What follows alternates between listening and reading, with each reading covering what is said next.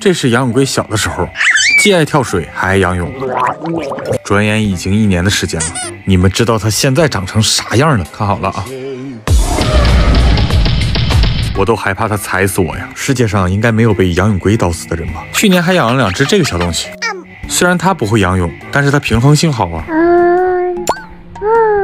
长得也好看呀！你看蓝色的眼睛，哈士奇的配色。哎呦，看着都聪明。他们两个小时候特别好，睡觉都在一起。有好几次我都以为他俩被烤干巴了。你们看这反应速度，像不像闪电？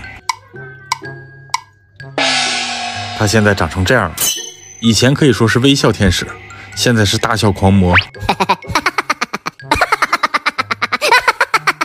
哼，笑啥呀？他就是想咬我，看不看见？还不服呢，要跟我干仗。可能因为他小时候我总欺负他。我的头可不是面团捏的，不过他长大以后依然没啥记性。来，过来吧，有好吃的啊？啥也没有，不长记性。